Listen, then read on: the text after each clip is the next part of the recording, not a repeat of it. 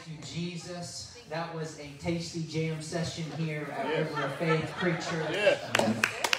Thank you, Lord. I'm so excited to be in the house of the Lord tonight. Continue our study on the book of Revelation. If you're joining with us online, thank you, thank you, thank you so much. We love you. Thank you for the support. And um, thank you for joining with us. I know Pastor Donnie has a word from the Lord for us on Revelations. That's been super good, super, super impactful, and, and just it just fills you full of hope. It just charges you with hope to see how close the Lord is, and how faithful He is, and just how faithful His word is. That if He said it's going to happen, it's going to happen. And if that, I mean, that's that's who He is. He's the Lord, and it's amazing. And so I just have um, one quick announcement. If you're watching this, if you're with us, and you're leaving with us to go to the and Sound Theater, we are leaving at 9:30. So I suggest just be here about 9:20. The bus needs to be rolling out the driveway about 9:30. We're going to eat some lunch at Golden Corral about noonish.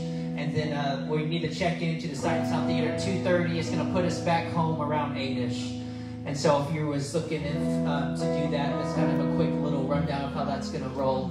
And then um, I wanted to announce we do have an um, online option giving available for to do your tithes and offerings online. Um, and if you're watching this, or maybe you're going to be here someday, and you need help setting that up, you can meet me um, even directly after service. I mean, it takes three, five minutes to set up. I can walk you right through that. That's no problem at all. Um, but anyway, let's just get right into this. I know Pastor Donnie has a word, and um, I'm just excited to be here, to be with God's people. Amen. Amen. And so if you need a miracle or you have a need in your life right now, just close your eyes. Everybody in this room, close your eyes. Just open up your heart to the Lord and just say, Jesus, you're amazing. You are the life. You are the way, you are the truth. There is no other way. There is no other life apart from you, Jesus. You are the only life, Jesus. You are the only way. There is no other way, Jesus. You are the way. You are the truth. And tonight, Lord, I just declare that your truth, your life, your love would begin to flow in every situation, in every organ that needs a touch, in every marriage that needs healing, in every mind that needs peace. God, I just thank you that you are the Lord and that you are able. And I just thank you that you're always ready. You're always willing. You stand waiting to fulfill and accomplish your word, God. And I just pray, Lord Jesus, that you would just tonight have your way in our hearts, in this service, and in your people. And we love you in Jesus' name. Amen. Amen.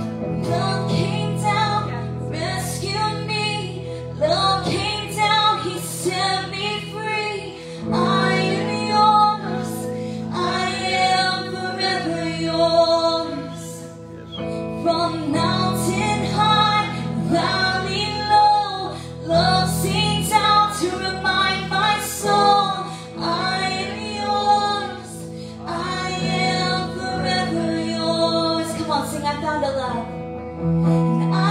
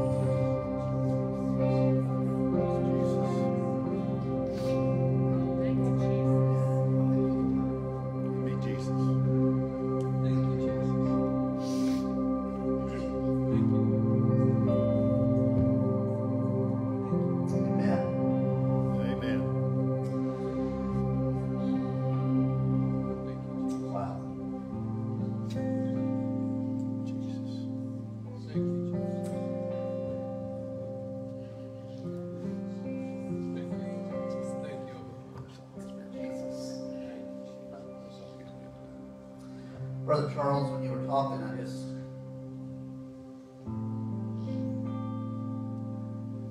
I guess the Lord was just speaking to me, but I just remember times in my life that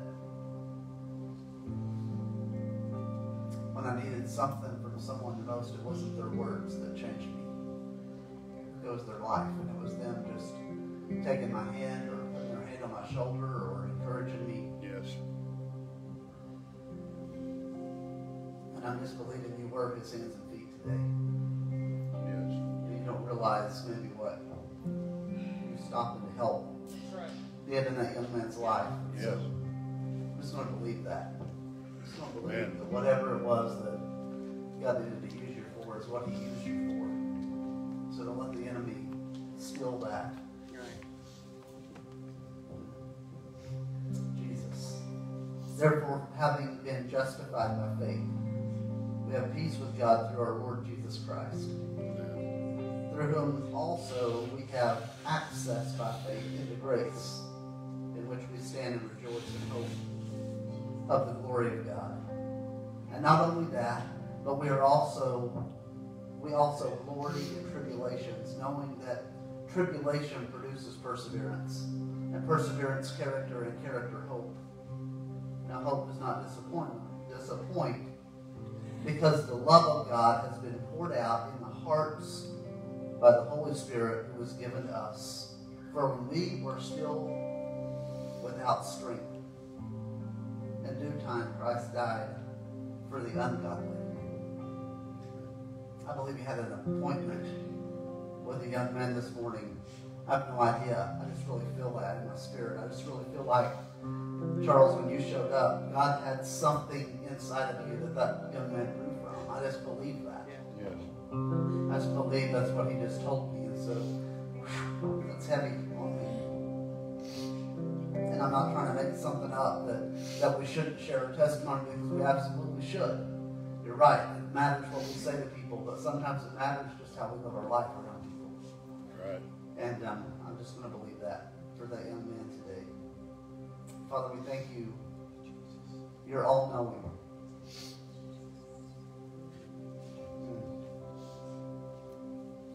I thank you that my brother took his time to stop today. I ask you to give him peace. I give you praise for it in Jesus' name. Amen. Amen. Amen. Thank you, Lord. Whew. Listen, we're going to talk tonight out of Revelation 14, and it's going to be a heavy kind of night like this. It's already started that way, but it's going to stay that way. If we have a heart for the Lord, if we have a lost, a heart for lost people, and we should, Amen. Yes. Michael, would you turn my mic down just a scotch? Maybe just a little bit. So if I get really excited, I don't make it fall. I won't probably not get excited, but just in case. We got a lot of ground to cover tonight. We're Revelation chapter 14, and I have 14 pages of notes.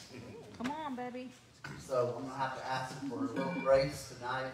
I'm gonna have to ask for a little bit of uh, extra time. Are y'all good with that? We're here. Extra 10 minutes maybe than what you're used to. I tried to condense it, but short of separating it and doing it in two parts, it's the best I could do. It's good. His word's good. We're about two thirds of the way through Revelation. It's been good. It's been good for me. I don't know about you guys, but it's been really good for me. It's challenged me to get dug into it and really just pull out of what God has in there. I've read it, I've read it, and I've read it, and I've never really understood it. And I'm, I'm pretty sure when I get done this time, I'll still say, I really don't understand it. Um, however, He's brought some things to light in my life. He's, he's used it to use this time in my life uh, to draw me deeper into it. Amen? So I wish I was a really good reader because I'm going to read it in its entirety, Revelation 14, and then we're going to talk about it. Okay? Then I looked, and behold, a lamb standing on Mount Zion, and with him 144,000, having his father's name written on their foreheads. And I heard a voice from heaven, like the voice of many waters, and like the voice of loud thunder. And I heard the sound of a harpist playing their harps. They sang, as it were, a new song before the throne, before the four living creatures and the elders, and no one could learn that song except the 144,000 who were redeemed from the earth. Then all the ones who were not defiled, these are the ones who are not defiled with women, for they are virgins. These are the ones who follow the Lamb wherever he goes. These were redeemed from among men, being first fruits to God and to the Lamb. And in their mouth was found no deceit, for they are without fault before the throne of God. Now, verse 6 Then I saw another angel flying in the midst of heaven, having the everlasting gospel to preach to those who dwell on the earth, to every nation, tribe, tongue, and people, saying with a loud voice, Fear God and give glory to him, for the hour of his judgment has come, and worship him who made heaven and earth, the sea, and springs of water. And another angel followed, saying, Babylon is fallen, is fallen, that great city, because she has made all nations drink of the wine of the wrath of her fornication. Then a third angel followed them, saying with a loud voice, If anyone worships the beast and his image, and receives his mark on their forehead or on his hand, he himself shall also drink of the wine of the wrath of God, which is poured out full strength into the cup of his indignation. He shall be tormented with fire and brimstone in the presence of the holy angels and the presence of the Lamb. Mm. And the smoke of their torment ascends forever and ever, and they have no rest day or night, who worship the beast in his image, and whoever receives the mark of his name. Here's the patience of the saints. Here are those who kept the commandments of God and the faith of Jesus. Then I heard a voice from heaven saying to me, Write, Blessed are the dead who die in the Lord from now on. Yes, says the Spirit, that they may rest from their labors and their works follow them. Verse 14. Then I looked and behold a white cloud, and on the cloud sat one like the Son of Man, having on his head a golden crown, and in his hand a sharp sickle. And another angel came out of the temple, crying with a loud voice to him who sat on the cloud, Thrust in your sickle and reap, for the time has come for you to reap, for the harvest of the earth is ripe. So he who sat on the cloud thrust in his sickle on the earth, and the earth was reaped. Then another angel came out of the temple, which is in heaven, he also having a sharp sickle. And another angel came out from the altar, who had power over fire, and he cried with a loud cry to him who had the sharp sickle, saying, Thrust in your sharp sickle, and gather, gather the clusters of the vine of the earth, for her grapes are fully ripe. So the angel thrust his sickle into the earth and gathered the vine of the earth, and threw it in the winepress of the wrath of God. And the winepress was trampled outside the city, and blood came out of the winepress up to the horses' bridles for 1,600 furlongs. Yeah. I want us to begin to talk through this. It's a good, hard text. Yes. Uh-huh. It's a hard one. Sometimes we don't want to talk about this kind of thing. Sometimes we'd just like to skip over this kind of scripture dealing with hell. It's exactly what this is dealing with hell. Our resistance to talking about hell, though, may just prove why it's important for us to talk about it in the first place. It's not fun. It don't feel good. We all know people who need Jesus. And without him, This is a reality for people that we love. Dang it. In Jesus' ministry, when he looked over the city of Jerusalem, he wept over it. He wept over it. He saw that the people of the city, he saw them as sheep with no shepherd, and it caused him to weep.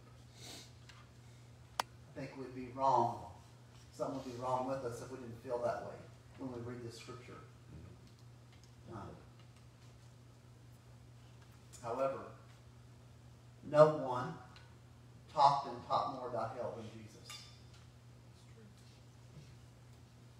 That probably needs to be our model as we look at this scripture.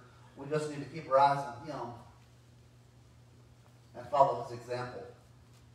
Jesus must be our model. We need to talk and teach fearfully, and I'll just go ahead and say tearfully when it comes to hell. We can't skip the hard parts. Going forward in our walk with Him, we must teach His Word completely. I think the church has watered down the Word of God and gotten away from talking about hell. Mm-hmm. It's true. Amen. I think we forsake teaching about it because we've heard things like, oh, they just try to scare you into the gospel, try, try to scare you into saying a prayer. Well, no. The truth is, there's a place called hell. The truth is, without Jesus, that's going to be reality for us. People need to know that. We can't skip the hard parts. We must teach the truth, but we should teach it with compassion. Uh-huh. Revelation 14, 20 verses long, and it's divided into a few sections. If you look in your Bible, at least in my Bible, verses 1 through 5, my Bible heading says the Lamb and 144,000. But I want to rename it. I, I want to just call it, instead of that, I want to call it a contrast, because it's a contrast. And then verses 6 to 13, the proclamation of three angels is what my Bible says, but I just want to call it a cry. And then verses 14 to 20, reaping the earth's harvest and reaping the grapes of wrath. And I want to call that part a certainty. A certainty. So a contrast, a cry, and a certainty, an all sinners on the topic of hell.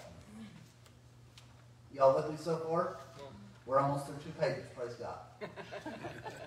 I want to reread a little bit. I want to just read the first five verses, the contrast part, and then we're going to talk about that. So it says, Then I looked and behold, a lamb standing on Mount Zion, and with him 144,000, having his father's name written on their foreheads.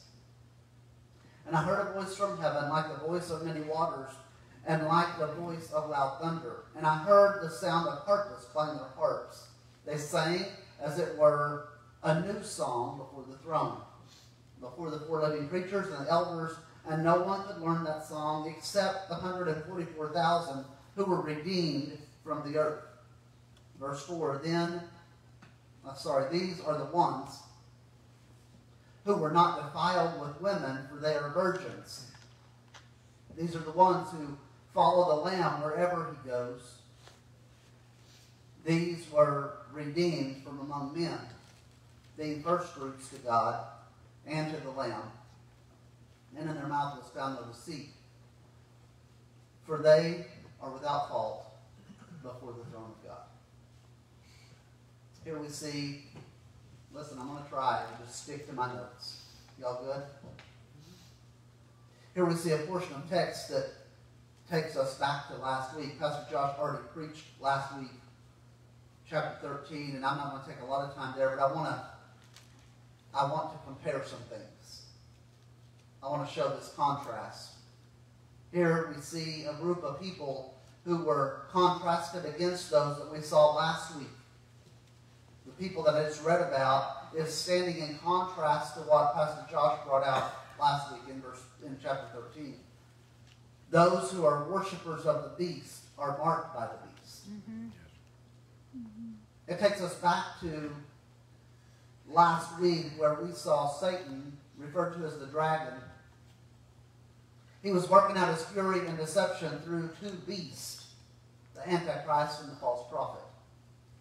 Those who received the mark of the beast marked on their hand or their forehead. Now listen, they were marked on their hand or their, or their forehead, body parts that speak symbolically of one's thoughts and one's actions. Come on, that's right. But now, in contrast, we see those who don't have the mark of the beast on their forehead, but here the lamb's and his father's name instead. Hmm. This isn't the lamb from chapter 13. Referred to, remember it referred to it as a lamb. This isn't the lamb, this isn't the same lamb. This is talking about the slain lamb. It's talking about here in chapter 14, it's talking about Jesus. This contrast that we see here in the beginning of this chapter is very important. it's very important. I want to remind us of a few things regarding those who worship the beast and what they saw in the beast itse- itself specifically. So turn with me back just a little ways to verse 16 of Revelation 13. It says, He causes all, both small and great, rich and poor, free and slave, to receive a mark on their right hand or their foreheads. Now back up a little further to verse 7. It was granted to him to make war with the saints and overcome them. And authority was given him over every tribe, tongue, and nation. All. All. Everybody. Everyone is marked by the beast, with one exception. And we see that in verse 8 of 13. All who dwell on the earth will worship him, whose names have not been written in the book of life of the Lamb slain from the foundation of the world. Everybody is going to worship the beast unless their name's written in the Lamb's book of life. That's what that scripture just said. So we have two groups, and only there's only two groups. It's not confusing. You're either going to worship the beast or you're going to worship the Lamb.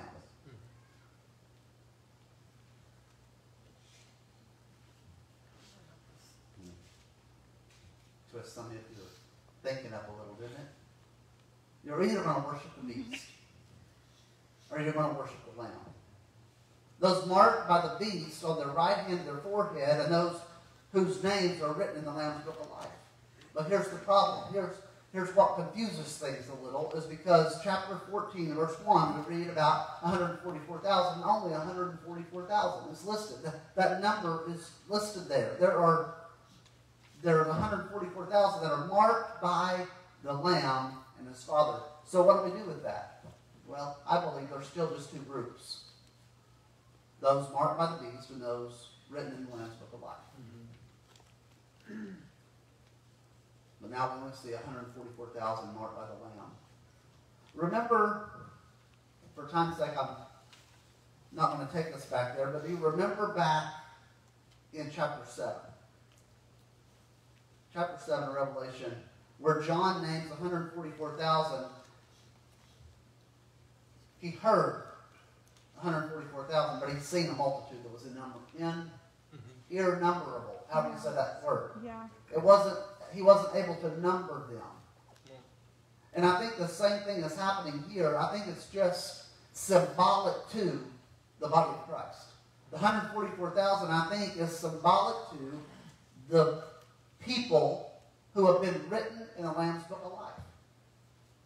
I'm just sticking to it. That's my story. And I believe you're either going to serve the beast, you're going to worship the beast, or you're going to worship the Lamb. Two groups. Two groups. Marked by the beast, marked by the Lamb.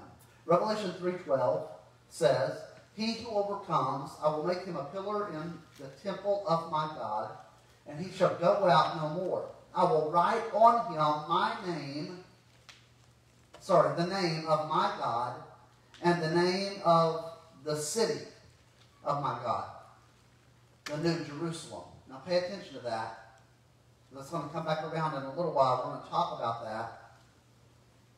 I will write on him the name of my God and the name of the city of my God, the new Jerusalem, which comes down out of heaven from my God, and I will write on him my new name. So when you're his child, he's marked you. When you've accepted him as your Savior, he marked you. So again, to groups of people, I just want to, I don't want to beat it to death. I just want us to get that there's two groups, the beast group and God's group. So, the question now, if the first five verses were a contrast to Revelation 13, if this is a contrast of what the people of the beast look like, what do the people of God look like? It tells us. It tells us. What do the people of God look like? What can we learn about the people of God in these first five verses? First, they were in the presence of God and God was with them. Revelation 14, verse 2 the voice of many waters,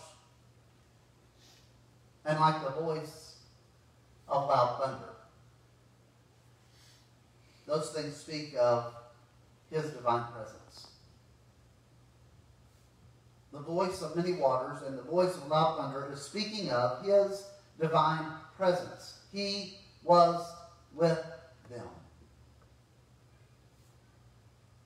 Also, the harp is always presented in the Bible as an instrument of joy. You ever read about the harp in the Word? It's talking about joy. God's voice is a voice of joy. So the first thing we see about God's people is that God is with them. The second, they were singing a new song in verse 3. Ah, yeah, I want you to. Go back to Revelation 5, verse number 8.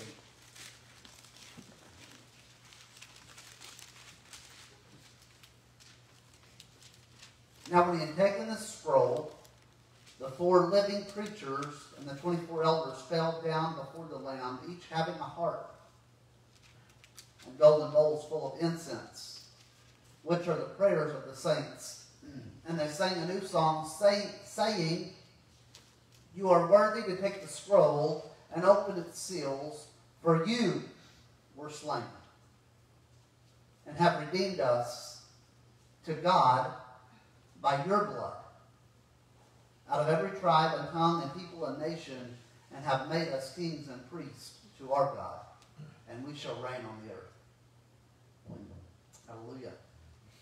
Revelation 15, verses 3 and 4. They sing the song of Moses, the servant of God, and the song of the Lamb, saying, Great and marvelous are your works, Lord God Almighty. Just and true are your ways, O King of the saints. You shall, who shall not fear you, O Lord, and glorify your name? For you alone are holy. For all nations shall come and worship before you, for your judgments have been manifest. The song of Moses, the song of the Lamb, we just read about that, the song of the redeemed. That's the song they're singing, a song of the redeemed. Remember in Exodus, sorry, you don't have to turn there. I know I'm jumping around a lot, but stay with me. You remember in Exodus when the Israelites had just come out of bondage and they walk across a dry ground. Come on. They crossed the Red Sea on dry ground. What's the first thing they did? They sang. They sang. According to Exodus 15, what do they sing? They sing the song of Moses. They sing the song of Moses, a redemption song. A song because they had been redeemed. A redemption song. It's the song of the Lamb. Because that enables our uh, redemption is the blood of the Lamb. So when we're singing of the song of the Lamb, we're singing about our redemption. when we're singing the song of Moses, we're singing about our redemption. We're singing because we are redeemed. Praise God. I don't sing because I'm a good singer. I sing because I'm redeemed. Uh-huh.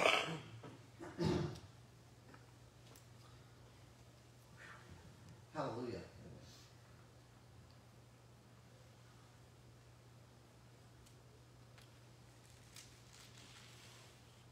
What enables our redemption? The blood of the Lamb. They were singing a new song before his throne. Amen. In verse 4, you'll see that they were faithful. They were righteous. Revelation 14 4. These are the ones who were not defiled with women, for they are virgins. Now listen, you could get really confused right here. Huh. Remember, Revelation is not always literal. Yeah. It's symbolic. I don't think this is trying to be degrading toward women. I mean, defiled with women. Wow, if you're a woman, that might be offensive. But I don't think it's trying to degrade you. I don't think it's coming at women and saying something's wrong with women. And I also don't think it's valuing virginity. I don't think that's what it's doing here. I don't think that's what it's talking about at all. It's depicting what being marked by Jesus looks like. Stay with me. One commentator that I read, his quote says this Christians don't sleep around on Jesus, they're faithful. That's good. Uh huh. Verse 4 is talking about justice regarding spiritual adultery. It's talking about spiritual adultery. It's talking about I'm not having an affair on him. I am the bride. One husband. That's good. That's real good. Mm-hmm. It's not talking about being a virgin. Mm-hmm. It's talking about being set apart to him. Mm-hmm. That's right. Uh huh. That's what it says. Jeremiah 18, 13, therefore thus saith the Lord, ask now among the Gentiles who has heard such things, the virgin of Israel has done a very horrible thing, talking about the church, Israel, talking about Israel, the virgin of Israel, had done a very horrible thing. They had not been faithful to him. Listen, they followed their own plans. Almost always, you go study it out. I dug around in it some today, probably not enough, but almost always, when the nation of Israel committed idolatry, they done it often. But almost always, when they created idolatry, it was defined as adultery. Adultery.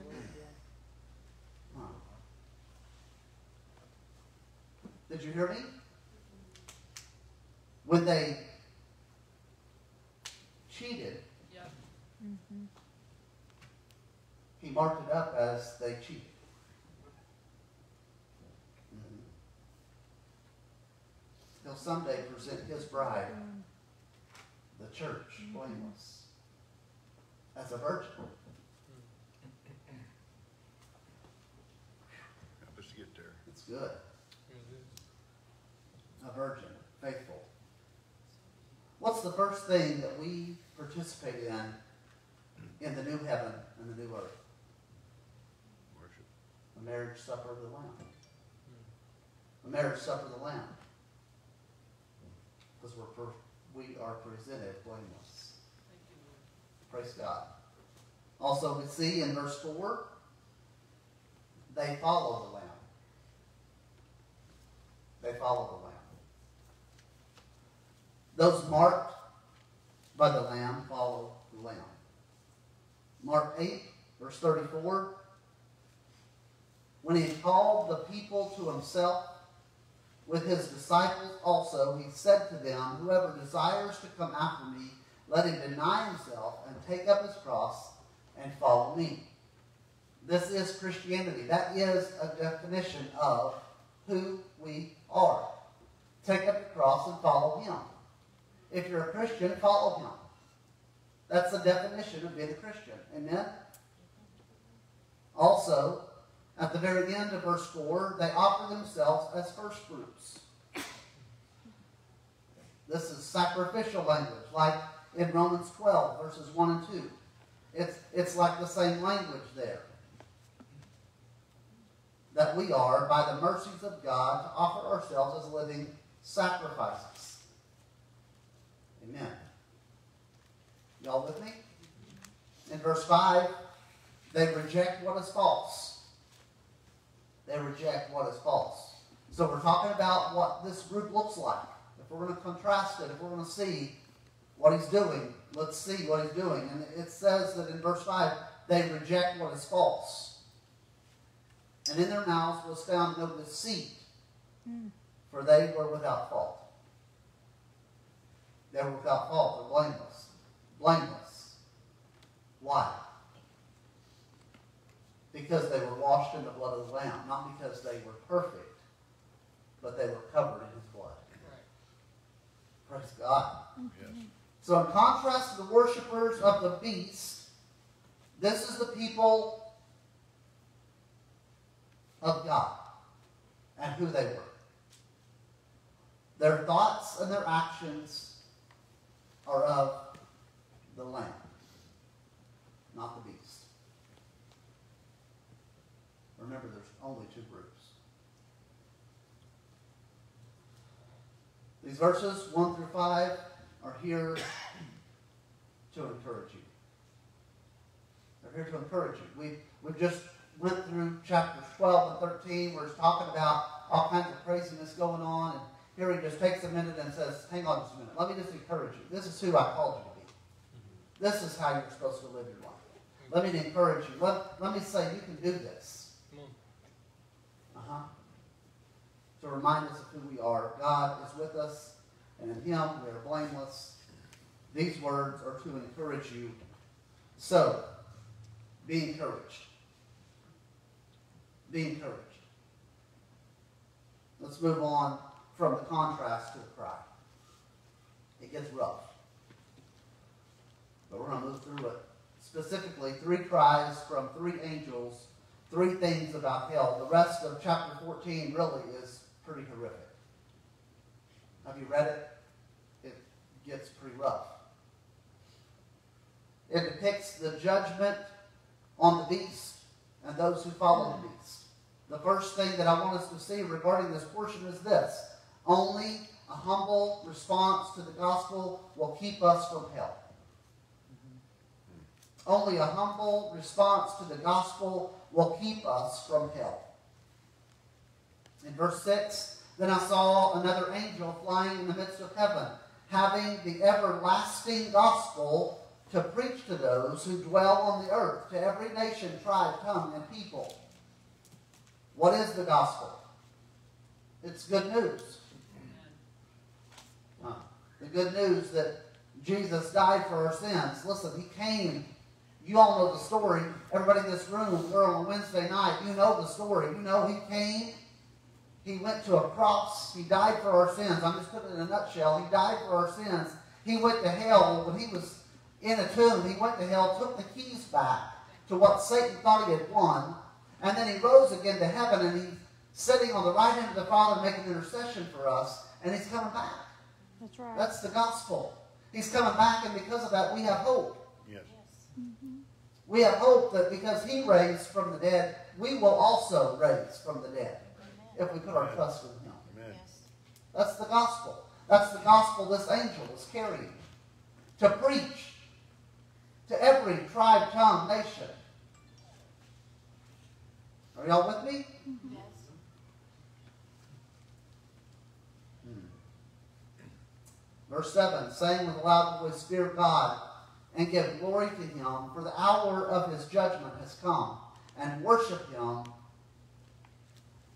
who made heaven and earth, the sea, and springs of water. Verse 7 is a response. It's a response. Acts chapter 2, Peter presented the gospel. Remember?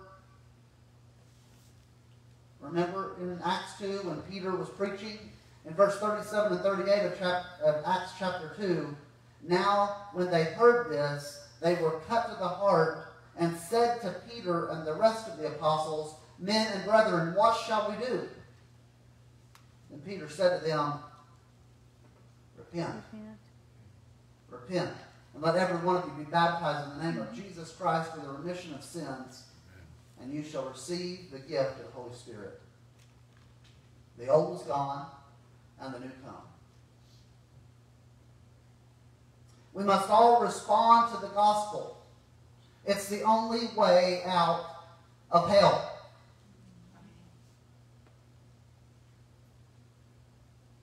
The second big idea from this portion of text is our world today is evidence of the judgment of hell to come. Our world today is evidence of the judgment of hell to come. Revelation 14, verse 8. And another angel followed, saying, Babylon is fallen, is fallen, that great city, because she has made all nations drink of the wine of the wrath of her fornication. Another version said it like this And the second angel came after, saying, Destruction has come to Babylon the Great, which gave to all the nations the wine of her wrath and her evil ways. Babylon represents the people of the beast. We'll see that the people of God are represented by Jerusalem, the new Jerusalem. One day Babylon will fall. The evidence is seen in how evil, the NIV says, maddening, calls it maddening things are now. They drank and they drank and they drank this maddening wine Mm-hmm. of the beast Babylon. And things got worse and worse and worse. Jesus. Jesus. Jesus. The world we live in. Mm-hmm. They've partaken of it, and partaken of it, and partaken of it, and partaken of it. And it gets worse and worse and worse. Come on, this is true. That's what it's talking about. In the last part of Romans, chapter 1. Therefore, God also gave them up to uncleanness in the lust of their hearts to dishonor their bodies among themselves, who exchanged the truth of God for a lie and worshiped and served the creature rather than the Creator, who is blessed forever. Amen. For this reason, God gave them up to vile passions. For even their women exchanged the natural use for what is against nature. Likewise, also the men, leaving the natural use of the woman, burned in their lust for one another, men with men, committing what is shameful and receiving in themselves the penalty of their error which was due. Are you all listening? Mm-hmm. Yes. And even as they did not like to retain God in their knowledge, God gave them over to a debased mind, to those things which are not fitting, being filled with all unrighteousness, sexual immorality, wickedness, covetousness, maliceness, full of envy, murder, strife, deceit, evil mindedness. They're whisperers, backbiters, haters of God, violent, proud, boastful, inventors of evil things, disobedient to parents, undiscerning, untrustworthy, unloving, unforgiving, unmerciful, who knowing the righteous judgment of God, that those who practice such things are deserving of death, not only do the same, but also approve of those who practice them. It's not only that they're doing it, it's that they are celebrating. It's not only that they're doing it, they're trying to convince other people to do it. It's not only that they're doing it, they accept it from everyone. Yeah. Hmm. And if you're not doing it, you're not accepted.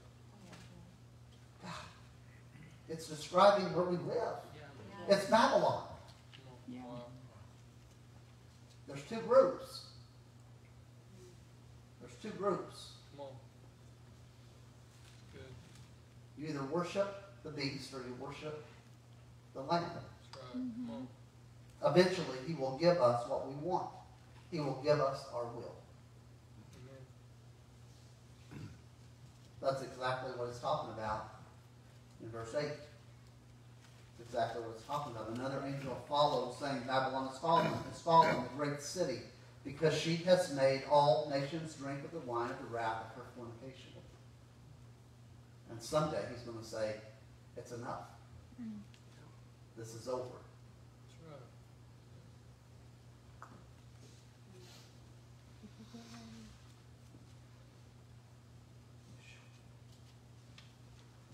The more that I decide that I don't want him,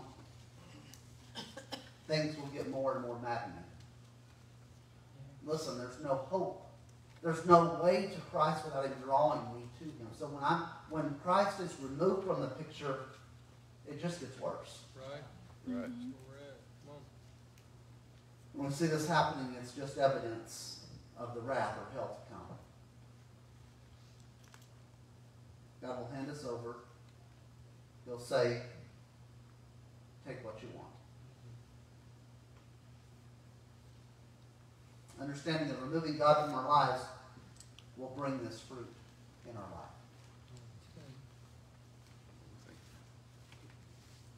Is it all bad in our world? No, it's not all bad. It's not all bad in the world we live in. It's not. That's right. But it's clear. We see good. Mm-hmm. It is clear. We see good. Mm-hmm. There's good. He's doing good things. Amen. There's still good things going on around us. It's not all bad. There is still two sides. Yes, Come Jesus. on. Thank you, Lord. Come on, we can still worship the Lamb. Yes. Amen. Thank you, Jesus. The good we see is evidence of God's awesome grace.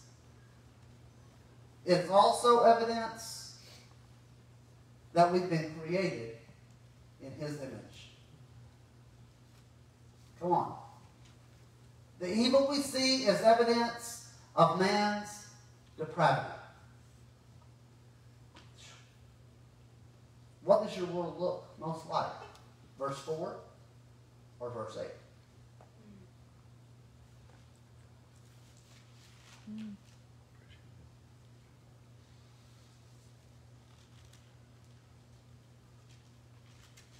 Jesus. The third big idea, third of three, that I'm going to talk about in this portion. Hell is a place where God's passive wrath turns active. Hell is a place where God's passive wrath turns active. Verses 9 through 11. Then a third angel followed them, saying with a loud voice, If anyone worships the beast in his image and receives his mark on his forehead or in his hand, he himself shall also drink of the wine of the wrath of God, which is poured out full strength into the cup of his indignation. He shall be tormented with fire and brimstone in the presence of the holy angels and in the presence of the Lamb, and the smoke of their torment ascends forever and ever. And they shall have no rest day or night, who worship the beast in his image, and whoever receives the mark of his name. Listen, there's not coming a day that someone goes to hell and is punished and it's over. That day is not coming. It's continual. They'll mm-hmm. sin and be punished, and sin and be punished, and sin and be punished, and sin and be punished, to never end.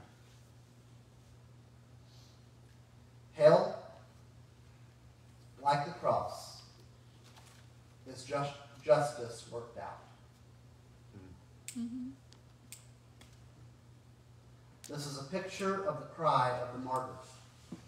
Revelation 6, verse 10, and they cried with a loud voice, saying, How long, O Lord, holy and true, until you judge and avenge our blood on those who dwell on the earth? And Jesus said this, Matthew 10, 28, And do not fear those who kill the body, but cannot kill the soul.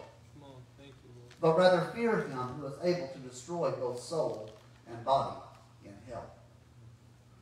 He also said this in Revelation 2, verse 10 Do not fear any of those things which you are about to suffer. Indeed, the devil is about to throw some of you into prison, and you may be tested, and you will have tribulation ten days. But faithful unto death, uh, be faithful unto death, and I will give you the crown of life. God is sovereign over life and death. Hell is the depiction of what it looks like when God is fully removed. Verses 9 to 13 is a call. A call to faithful endurance. Faithful endurance. A call for endurance. Be faithful, stand the test, persevere to the end. He's saying, I'm calling you, I'm telling you right now, stay faithful. Come on. Good. So far, we've seen a contrast in verses 1 through 5. We've seen three cries and a call, and we're going to see that this text ends with certainty. We're going to talk about certainty, and then we're going to close. There are two things that are spoken of in verses 14 through 20. One is a harvest of wheat, and one is a harvest of grapes. The certainty that comes in the midst of both is this fact. All harvests reach a time of reaping. All harvests come to a time of reaping. A harvest is coming when mankind will be ripe. That's the point of verses 14 through 20. When that time comes, God will separate the wheat from the tares, as Jesus speaks of. Matthew 13, verses 24 through 30 says, Another parable he put forth to them, saying, The kingdom of heaven is like a man who sowed good seed in the field. But while men slept, his enemy came and sowed tares among the wheat and went his way. And when the grain had sprouted and produced a crop, then the tares also appeared. So the servant of the owner, the servants of the owner came and said to him, Sir, do you want us to sow good seed in your field? Sorry, did you not sow good seed in your field? How then does it have tares? He said to them, An enemy has done this. Are you listening? The servant said to him, Do you want us then to go and gather them up? But he said, No, lest while you gather up the tares, you also uproot the wheat with it, with them. Let both grow together until the harvest. Listen, and at that time, the harvest, I will say to the reapers, first gather together the tares and bind them in bundles to burn them. But gather the wheat into my barn. That's the first image. The second is the image of a vineyard. When grapes are ripe, they're taken out and they're trodden on to separate the juice from the whole grape. That's the process of getting wine. In this analogy, the worker is God. And the grapes are people. Throughout Scripture, the people of God are often depicted as a vineyard. Israel is often referred to as a vineyard. Here, there's a vineyard and a reaping taking place. Now, listen, you, are, you and I aren't actual wheat and tares. We understand that. However, there is a time coming that the people of the beast and the people of God will be separated forever. Praise God. And you and I aren't literal grapes. But there's a time coming where God will take those who have rejected him to an eternal judgment and wrath. They'll be trampled in a winepress. It's a tough text. But you know what's great about this text? What, preacher? It ends with a sweet picture of grace. Where's the grace? Revelation 14 20, and the winepress was trampled outside the city. That's when you, that's where he suffered. outside the city. Wow. Do you see where the grapes were taken? Where the wine press was? Outside the city. Don't miss it. Don't miss this because it's the depiction of his grace. John 19, 16 and 17. Then they took Jesus and led him away, and he, bearing his cross, went out to a place called the place of the skull, which is called in Hebrews Golgotha. Jesus went outside the city, outside of Jerusalem, to be crushed. Hebrews 13, 12, therefore Jesus also, that he might sanctify the people with his own blood, suffered outside the gate. Matthew 22, 33 and through 42, I'm about done, stay with me. Here another parable. There was a certain landowner who planted a vineyard and set a hedge around it, dug a wine press in it, and built a tower. And he leased it to the vine dressers and went into a far country. Now when the vineyard, when vintage time, sorry, now when vintage time drew near, they sent his servants to be the vine dressers that they might receive its fruit. When the vine dressers took his servants, beat one, killed one, and stoned another. And sent other servants, more than the first, and did likewise to them. Then last he sent his son to them, saying, They will respect my son. But when the vine dressers saw the son, they said among themselves, This is the heir. Come, let us kill him and seize his inheritance. So they took him and cast him out of the vineyard and killed him. Therefore, when the owner of the uh, vineyard comes, what will he do to those vine dressers? They said to him, He will destroy those wicked men miserably and lease his vineyard to other vine dressers who will render to him the fruits of their seasons. Jesus said to them, Have you never read the scriptures? The stone which the builders rejected has become the chief cornerstone. Here's the grace Jesus was trodden on for us. Thank you, Jesus. Like a wheat, he was cut off for us. Like a tare, sorry. Like a tare, he was cut off for us. He was taken outside the city of Jerusalem so that we could become the new Jerusalem. Thank you, Lord. Yes. Jesus wants you in the city. I want to say it again. Jesus wants you in the city. Outside the city, those suburbs, listen, is demon possessed. O- outside the city is ruled by the beast. He wants you in the city. Hmm. Jesus wants you in the city. He was taken out, he was trampled on so that you could stay. The question is, are you? Are you staying? Are you grounded? Are you solid? Are you in? Are you in the city? Revelation 14 is real. It's certain. And it's horrific. But it doesn't have to be our reality. The bad of this chapter is what makes the good so good. Jesus was cut off for us. He was crushed and poured out for us. It's the picture of communion. If I had more time tonight, we would have taken communion right here.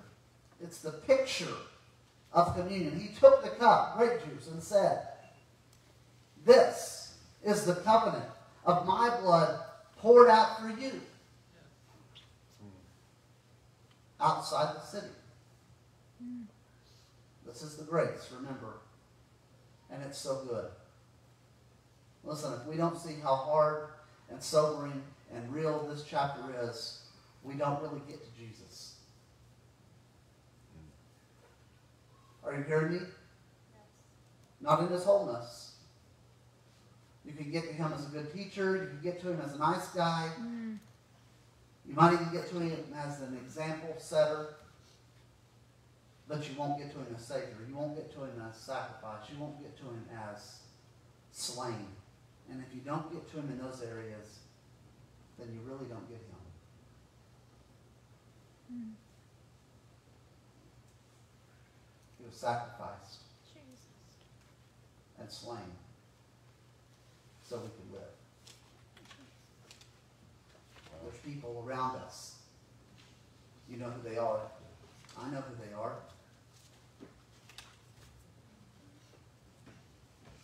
Who are living in Babylon.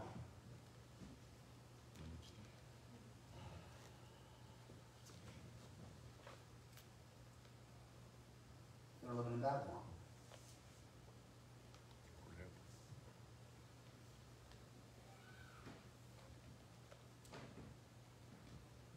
And I'm certain that if you could have a minute with them, in reality, they'd say it's getting worse and worse and worse. But they're stuck. And he wants to use us.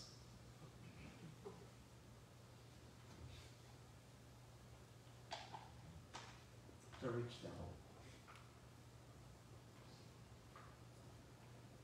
Listen, they're worth it. Yes. They're worth it.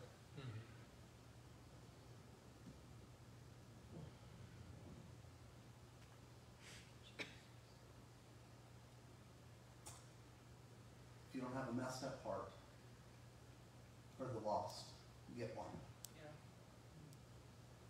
If you don't have a cry for the lost, get one. Mm-hmm.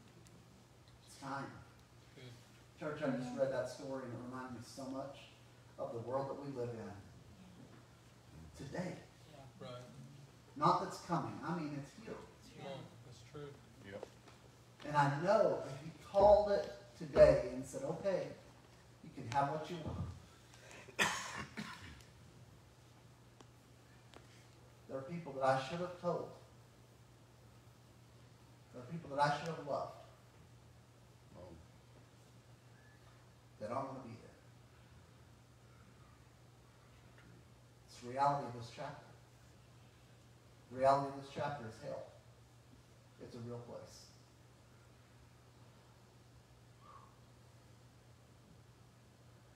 Jesus, give us compassion.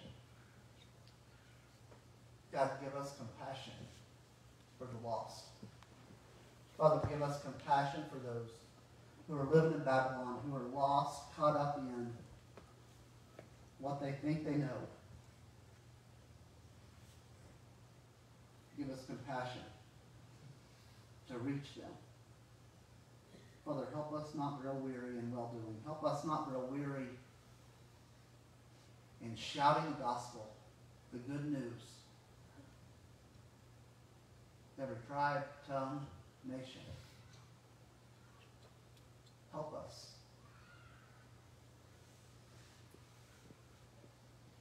God, help us not be comfortable.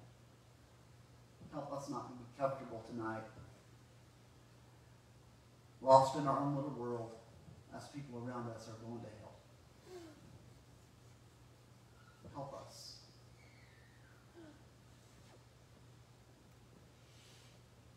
Here am I, Lord, send me. Here I am. Here I am.